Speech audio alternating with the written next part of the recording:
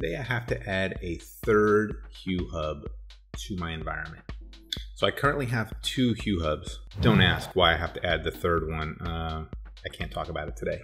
But I am adding this third one to do some testing and uh, I'm realizing that the old way that I've had these hues configured is not necessarily correct. Or it, it was correct then, but it's not necessary now.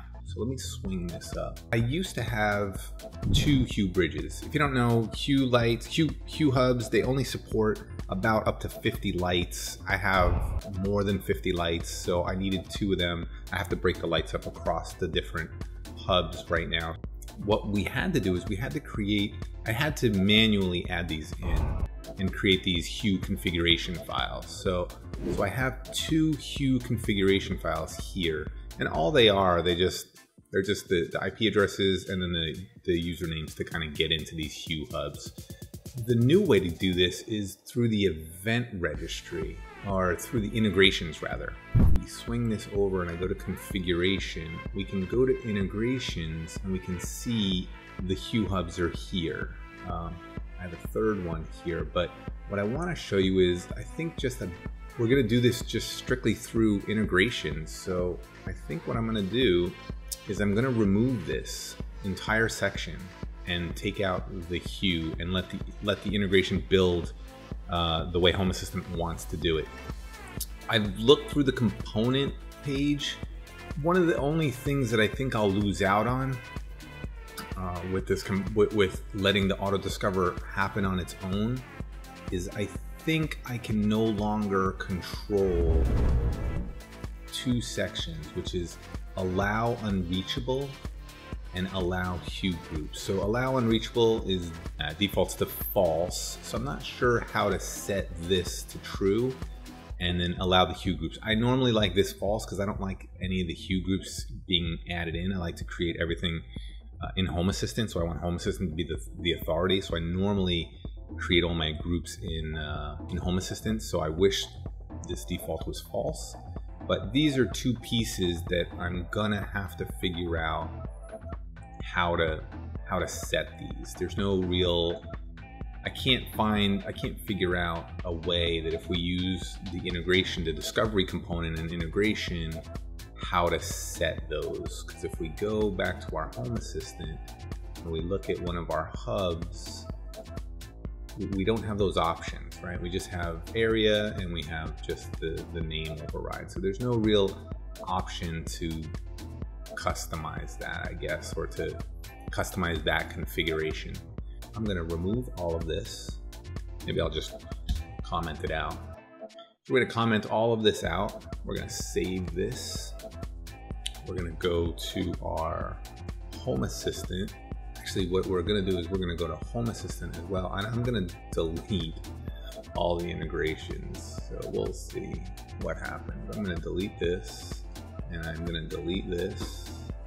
Okay, so now I don't have any Hue stuff set up.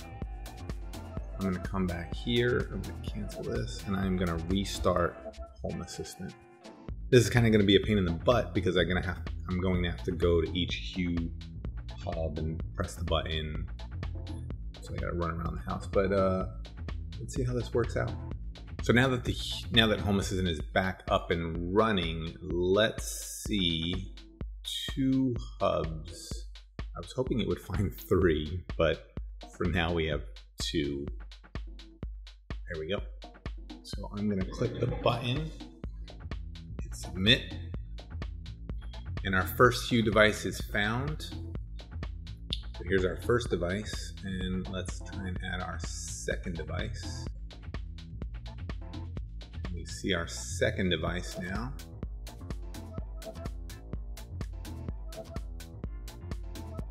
All right, let me run upstairs. Hold on.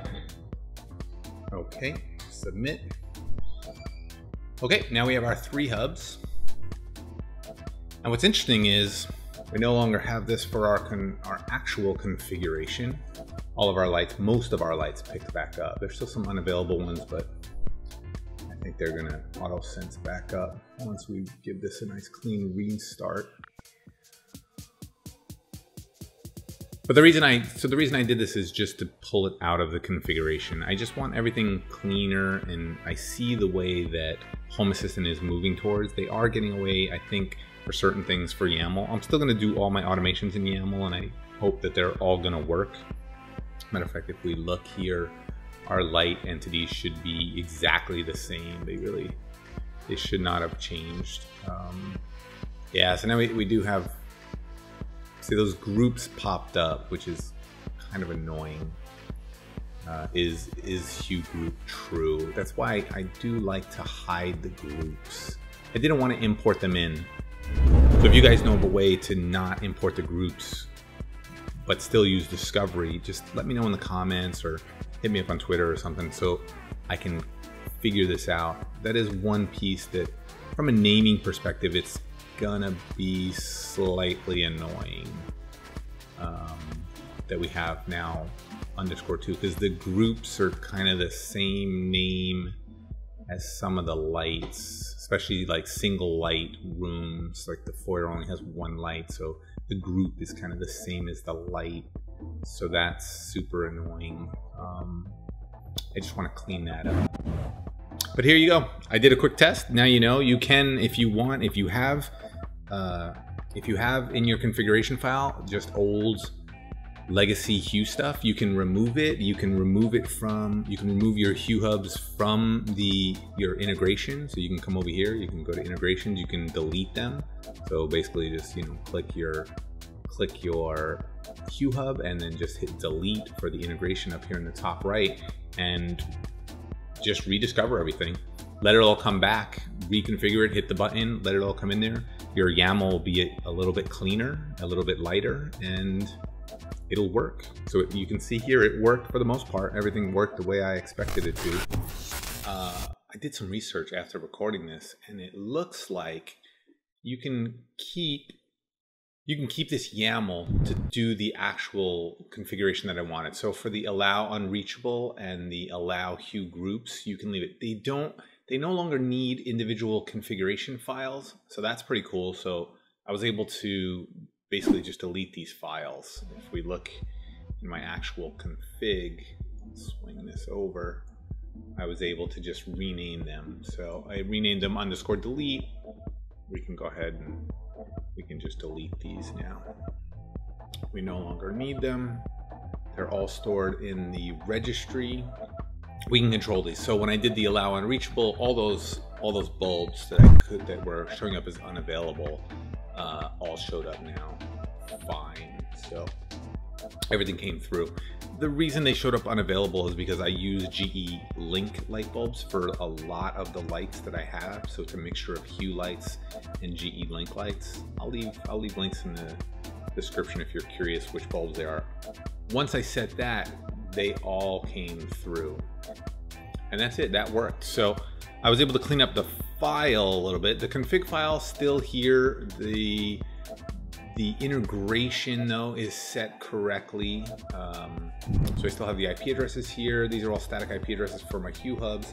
I no longer need the configuration file, so I think that's pretty cool just to get rid of that, clean that up a little bit, and then and then now manage everything through just the normal integrations the way we want, uh, which seems to work really, really well. So glad uh, that I was able to find those extra parameters. So the groups no longer no no longer were imported. So if we go to light dot, we don't we no longer see all different lights and light groups that were there. There's no longer is group.